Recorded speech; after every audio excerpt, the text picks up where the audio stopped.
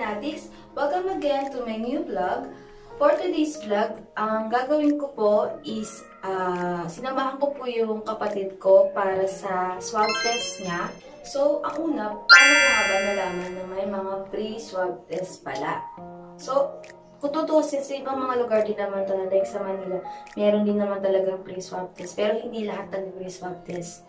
Kasi kung tutuusin, may mga bayad talaga yung free swab test ngayon. Ang pinakamura ay yung 2-4 na nakita ko sa St. Dominic dito sa, sa Cavite.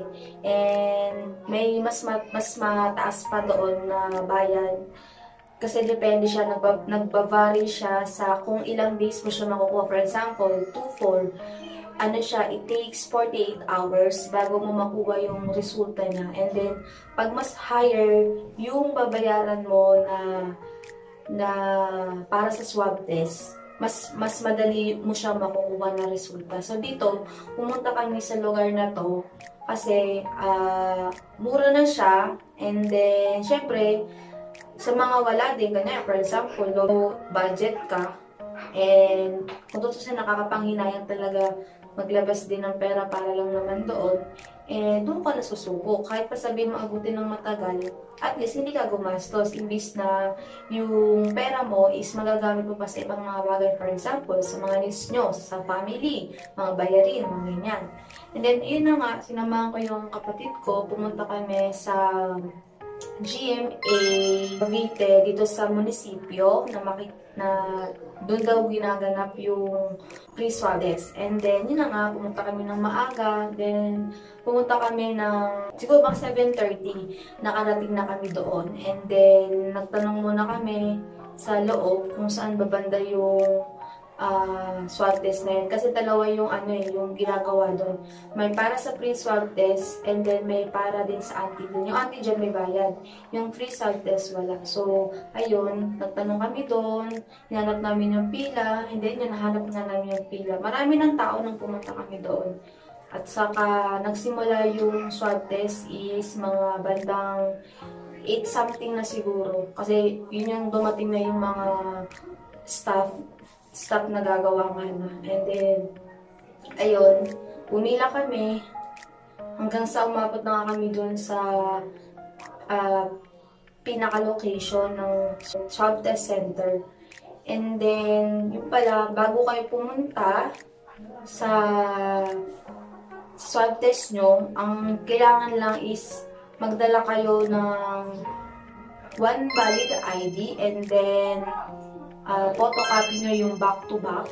Kasi, pagpunta nyo dun sa uh, start doon, na uh, swab test center, yung Xerox copy ng, ng ID, and then ipapakita nyo yung certain valid ID nyo dun sa staff. And then, konting interview lang, ganyan kung saan gagamitin tsaka yung purpose mo, and then, bibigyan ka nila ng form kung saan may pipilapang ka. Yun, basta may pipilapang kayo. Tapos, pag natapos nyo ng pilapan yun, uh, pipila na naman kayo ulit para doon na mismo sa swab test. Then, nung time na yun, may pumupuntang staff para magbigay ng yung lalagayan ng swab test nyo. Tapos, ano na rin, yung sticker. Yung sticker ata na yun, may nakasulat na something. Hindi ko maalala kung ano yun parang number ata or name mo ilalagay. And then, pagpila namin, so pumila kami, mga pagdating ng mga 10, ang bilis na ng process. Kasi kami, nung pumipila kami, ano siya, medyo tagal, ganun. Kasi, isa lang yung nakikita naming staff na gumagawa ng swab test. Yung ibang staff, nandun sa pinaka-front desk, sila yung interview dun sa mga, ano, isa swab test yung parang pinilapan mong form, chinecheck pa nila kasi yun, parang bine-verify pa nila.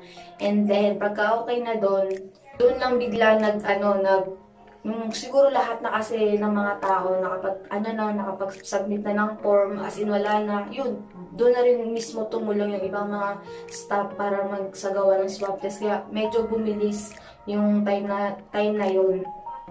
At uh, tapos, pumila nga kami.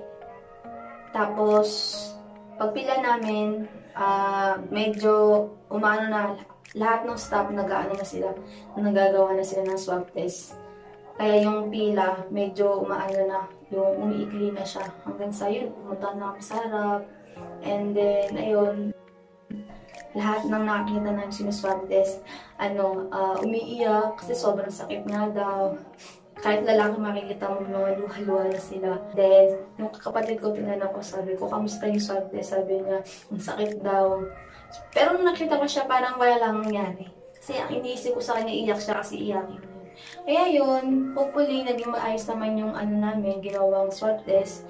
And, uh, naging successful naman yung ginagawa nilang uh, pagsuswab test na sa mga pumunta.